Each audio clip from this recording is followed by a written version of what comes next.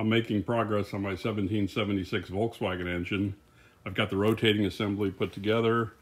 Um, the pistons are on here temporarily. I just had just checked the deck height with the new uh, barrels, the new cylinders. Um, and uh, next I'll be working on the heads. I have to bore out the heads to accept the larger diameter cylinders. And then I'm going to do a three angle valve job. I've got uh, a new tool that I bought um, to do that myself. Um, let me show you what I'm doing.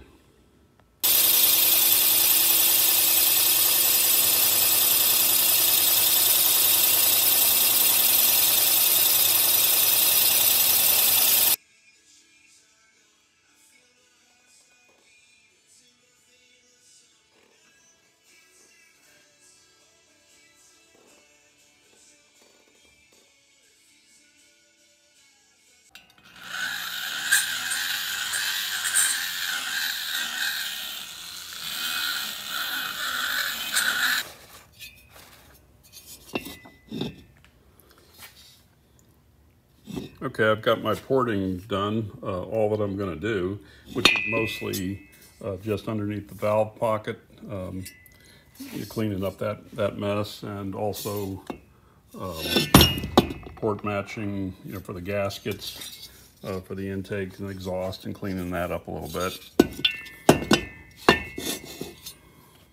Next, I'm going to do a three-angle valve job uh, on the valve seats. This little bit of equipment here is all you need to do your own three-angle valve job at home. Uh, no machinery needed. Uh, we've got uh, some different cutters here. This um, is a dual cutter here. This one cuts, uh, this is a 45 degree and they're carbide inserts and they're those inserts are replaceable if they ever get dull or chipped. Uh, being carbide, they'll last a long time if you're careful with them. They, they will chip though. Um, and uh, the other side is a 30 degree for the top cut of a three angle valve job. And then this one is a 60 degree to go down into the throat of a um, valve seat and give you that three angle cut. This is the uh, a pilot that goes into your existing valve guide. Now it is important if you're going to do this that the valve guides are in good condition I mean, if you've got a, old heads that uh, the guides are worn out, you should replace the guides first. And, uh, you know, you might want to take that to a machine shop to have that done, or some people do that themselves. But uh, that is important because everything is going from the axis of the valve guide. And this is a tapered uh, pin. It, you jam it in there, give it a twist, and it locks in very rigid. And then it uses this upper shaft to guide the cutter concentrically around the, the pilot. And you just use this T-handle uh, to twist it. It's very, very simple. But this whole setup was less than $250. And you could, or, you know, you could call, uh, here's their information, give them a call and tell them what you've got. Uh, if you know the valve diameters um, and uh, angles, that would be um, best and they'll tell you exactly what you need. Now they sell kits already made that, you know, have a big assortment that will cover a wide variety that, uh, you know, I saw that at first and that kind of scared me. It was five or 600 bucks for that. But when I told them what I was doing and, and the size valves, they said, well, all you need is this cutter and this cutter and this pilot. And they set me up for, like I said, two, around 250, uh, including shipping. So uh, give them a call if you want to do this we have a solid uh, tapered pilot that will go in the guide and that picks up the center line. We'll give the pilot a, a twist. Like I said, it's a tapered pilot that goes into the guide. Give it a twist to make sure it's good and snug. Um, that's a good rigid setup. We're going to cut the 45 degree first just to clean it up all the way around the diameter. Set that down on there. And this wrench goes on and then simply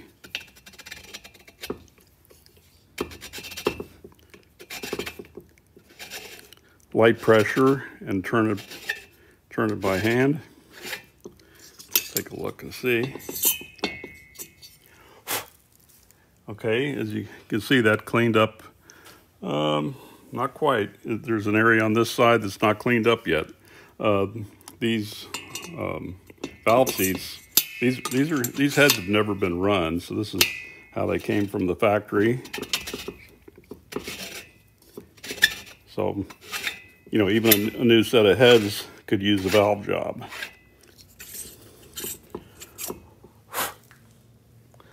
Still not quite cleaned up over here.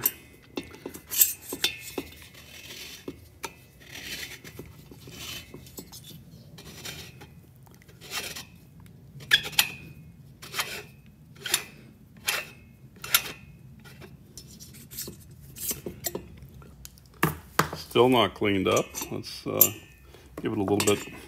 Still not cleaned up. We'll give it a little bit more.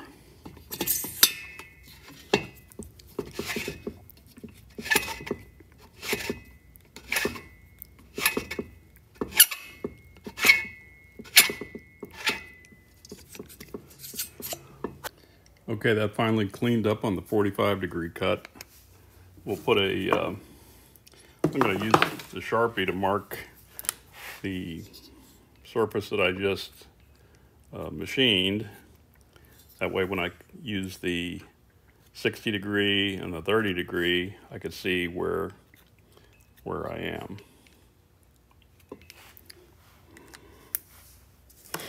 Okay, I'm going to use uh, some inside calipers to uh, gauge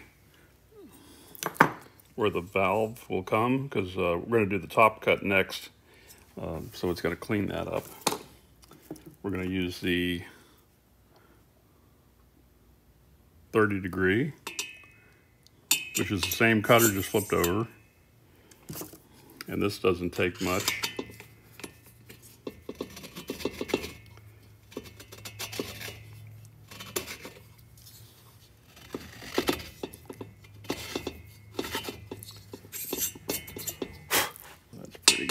take a little bit more.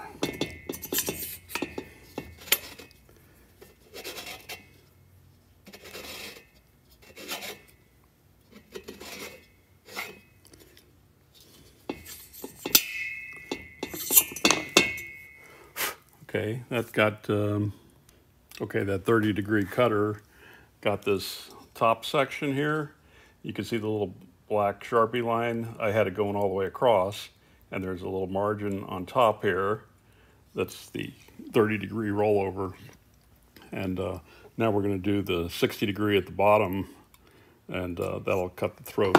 And you could actually feel the difference. One that's just a straight single cut 45 degree versus one that has a three angle it feels much rounder and lets the air get around uh, the seat uh, easier more effectively and it really does increase the flow quite a bit.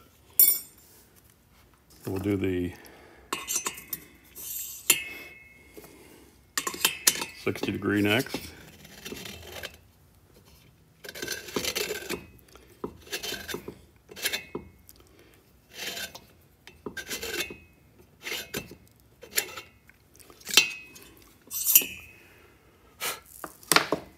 Okay, now you can see think you can see now the uh, cut here. See the little black line? That's uh, where the valve will seat on that area. And then it's got a 60 degree cut down there. And it's uh, actually, the transition is much smoother that way. So we will uh, take this out and lap the valve in and see where it is on the valve face. If it's in the right place, we may have to adjust the uh, top cut and the bottom cut to move that seating area up or down in the seat.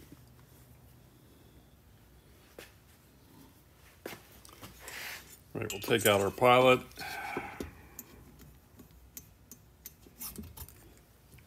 And we'll use a little bit of valve lapping compound, grinding compound. This, this is water soluble. And just put a couple of of little dabs on the on the face there. Drop it in. We use our valve lapping tool, just a suction cup on a stick. And we go back and forth. You could hear the, the pitch change on the, uh, when you're lapping it. And here's the area that is hitting. You can see where the compound is, the grayish area. Uh, ideally, you'd want that up a little bit closer to the edge.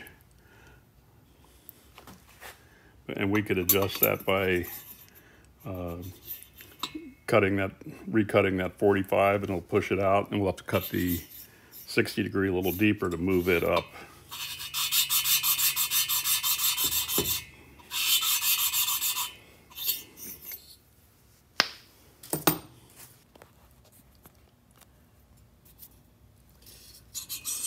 Taking the 60 degree cutter out. You can see in here, um, it cut nice. You can see the uh, little black witness marks I left on there that I went across the face. So the bottom cut with the 60 degree and the top cut with 30 degrees uh, cleaned off the ends of that black mark. And uh, that, where that black mark is, that represents where the uh, sealing surface for the valve is. That's about the right location. So I'll go through and do that on all of them, and I'm gonna lap this in. I'll lap the other one in, uh, and then I will check the uh, head volume, the uh, chamber volumes, how many cc's. Um, I'm looking to end up with between uh, seven and a half and eight to one compression. Uh, hopefully on the eight to one side.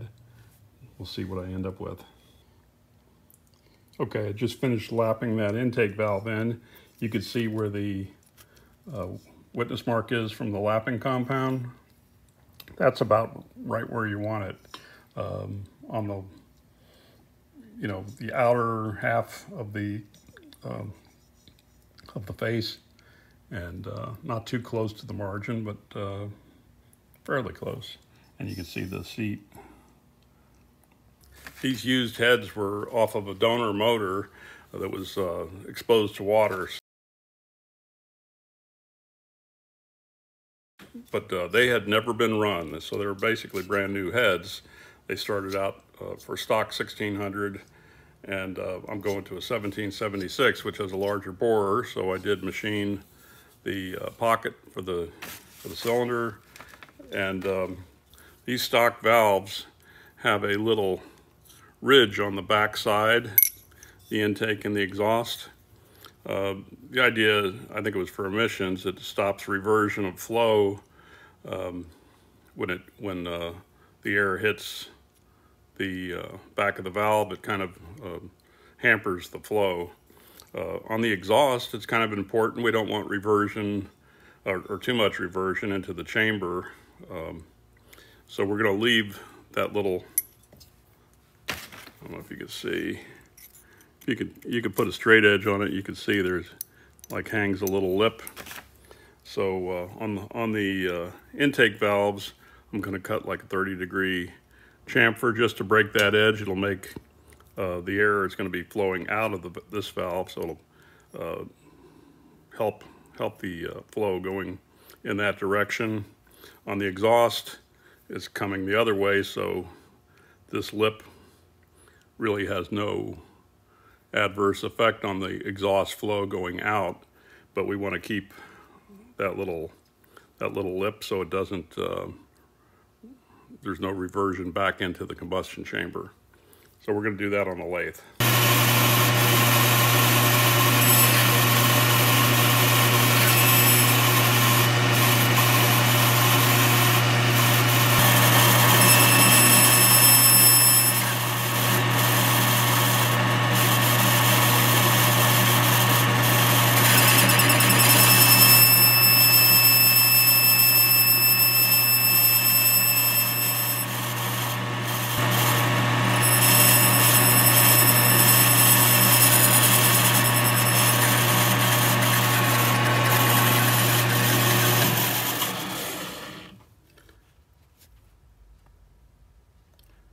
Okay, that was, that's just a back cut for that angle, but we could do the same thing if we needed to face these valves at a 45 degree angle.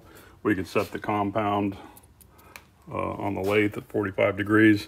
This uh, collet chuck uh, runs out less than one tenth of a thousandth uh, full indicator reading, so it's very concentric to the to the stem of the valve, and uh, because uh, this roughness you see from the from the carbide cutter, um, they go uh, concentric to the to the valve, and um, once you lap it in, even if it was on the face, it would uh, it would work out just fine without the use of a tool post grinder. Well, I've got all the valves lapped in, and I wanted to double check on the combustion chamber volume. Um, I, I, checked all the chambers; they're all at 57 cc's. Uh, which is uh, good. That puts me with my uh, 45 thousandths deck height, that puts me at a 7.9 to 1 compression ratio. I'm running a SCAT C25 cam, and the manufacturer recommends between 7.5 and 8 to 1 compression, so that'll be on the high side. That's good. Um, I'll show you what I'm going to do to clean up these chambers. You know, I had them roughed in to do the, uh, before I checked the CCs. I didn't want to finish uh, polishing them and stuff and, until I knew um, that I was going to end up with the right CCs. Depending on how deeply you set the valve seats um, is going to also affect your combustion, combustion chamber volume. Uh, but uh, because these seats have already been uh, cut and uh, lapped in so that I don't damage them when I polish, I've got some uh, old old valve, a couple of old valves that I cut down the head to make like you can see a razor edge on the on the uh, angle. And uh, what that does you drop them in and they set they set flush with the seat. And now I could go in there um, you know with uh, anything and, and and polish and not worry about messing up the seat these are the cylinder heads that I harvested off of my cheap Craigslist Volkswagen engine. Um, even though they look, you know, a little uh, dirty and corroded, uh, that's because some somebody had rebuilt uh, this motor. Uh, it was a 1600 and left it out in the rain and filled up one of the cylinders and and uh, you know made a mess of things. But uh, when I took everything apart, you know, there was still assembly lube on everything. The motor had never been run, and these were brand new uh, heads. So the valves uh, were already uh, in good condition. You know, they were new, they had never run. Um, so I really didn't have to worry about cutting the face on there. Now you can uh, face them on a lathe uh, with a single point carbide carbide tip uh, cutter uh, or if you have a tool post grinder, you can grind them. Or if you uh, if you don't want to do either of those and you have old valves, you could either um, take them the valves to a machine shop, have them resurfaced, or on in some cases, if you just need one or two, uh, like on this for this motor, for these heads, uh, the valves brand new are less than 10 bucks a piece. So, um, you know, it's cost effective uh, still to buy new valves and do your own valve seats and you've got a, a nice uh, three angle valve job. Well, one thing to remember, um, you know, after you do these heads and you lap in the valves, you know, the valves are going to be married to a particular seat. So keep track of them. Like I have uh, on these heads, I put, on these heads, I put you know, notches. This is cylinder two, cylinder one, so forth. And, um, and then make sure that the, the valve that you lapped to that seat goes back in the same seat. Okay, I've got that three-angle valve job completed to my satisfaction. Everything seemed to come out well. Um, when I checked the um, combustion chamber volume, um, I was using water uh, to fill up the chambers, and when I had the valves in there with just uh, hardware store springs, light spring pressure. I didn't have any grease to seal up the valves or anything, and uh, it held water, did not leak anything out, so I, I assured I have a good seal there. Um, I ended up with 57 cc's, which gives me 7.9 to 1 compression with my 45 thousandths deck height, which I'm happy with. That's what I was shooting for. But uh, I think it came out well. Um, I did also um, lap in the barrel of the tops of the cylinders to the heads with valve grinding compound um, just to make sure I have a really good seal there. I did have to cut that surface with um, my fly cutter and uh, just to be sure that I had a good a good seal. There's no gasket there, so you want to make sure that's right. Uh, anyhow, I'm happy with the results here, and um, thank you for following along. And uh, if you like this type of content, please consider subscribing, and um, I will see you in the next video. Thanks.